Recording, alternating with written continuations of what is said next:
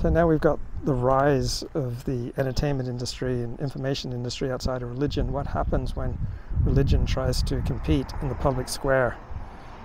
Right? What happens when clergy and rabbis and priests and ministers go on TV? Right? That affects their image, right? The rabbi who's always going on TV, that uh, that reduces his prestige. He's now competing in an alien outlet.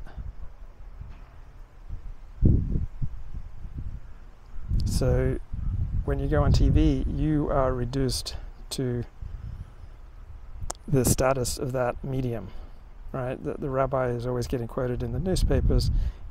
He's not usually known as the rabbi's rabbi. He's like selling out. He's like a court Jew.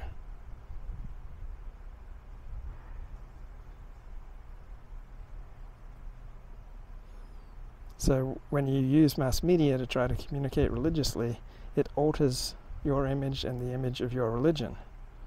So, religion effectively in a secular society has to accept a marginal position in the various communication agencies, which is completely in defiance of its own self assessment that it is the preeminent source of truth. So, when you go on a particular medium, whether it's radio, TV, newspaper, you are reduced to the status of that medium. So religion claims transcendent truth.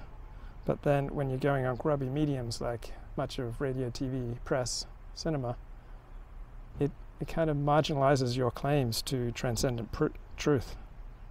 Right? You're just you're just another talking head